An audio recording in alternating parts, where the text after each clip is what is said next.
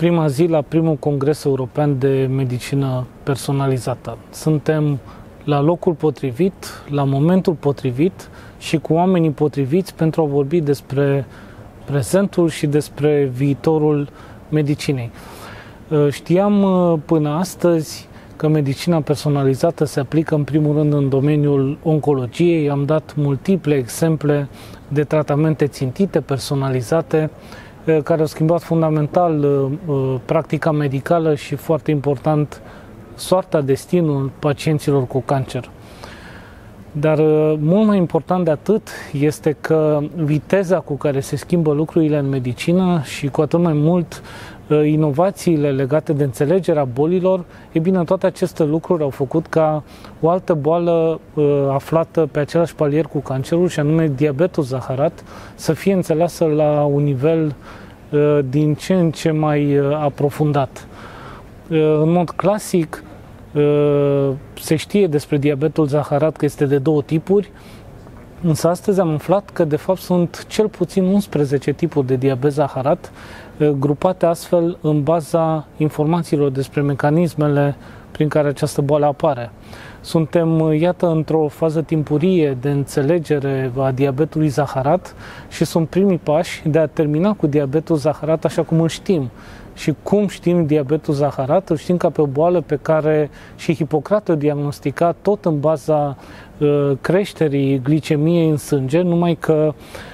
o evidenția, evidenția glicemia în urină și întrebați-vă fiecare dintre dumneavoastră cum uh, se întâmpla acest lucru acum mii de ani, dar același principiu, spuneam, glicemia stă la baza diagnosticării și a monitorizării diabetului zaharat și acum, în 2017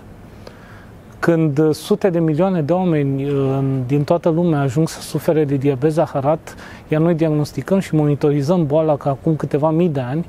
uh, aceste două date nu funcționează împreună. Iar știința ne ajută, iată, și în acest domeniu al diabetologiei, să vorbim despre stratificarea pacienților și probabil nu în foarte mult timp de acum înainte să vorbim despre terapii personalizate pentru fiecare subtip de diabet zaharat. De asemenea, ă, tot astăzi am aflat date despre cum arată medicina genomică la nivel de sistem. Și anume în Marea Britanie, unde ă, programul național de medicină genomică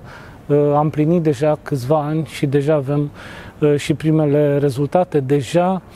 medicina genomică iese din uh, uh, sfera uh, absolut limitată a cercetării uh, și deja se discută despre modul în care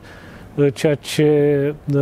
înțelegem din, din genomică ajunge să se aplice la nivelul unor populații mai mari, la nivelul pacienților care accesează sistemul de sănătate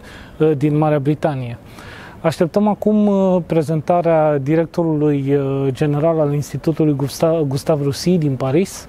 uh, care ne va duce probabil o perspectivă despre ce înseamnă medicina personalizată și inovația în oncologie, atât la nivelul pacientului, dar și la nivelul unui institut oncologic de asemenea învergură.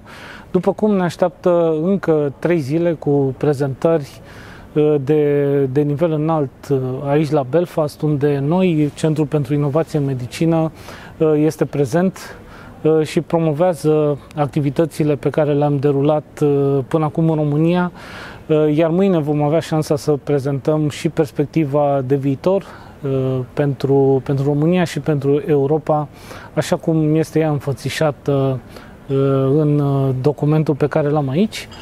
și așa cum uh, uh, mâine o vom aduce în atenția participanților.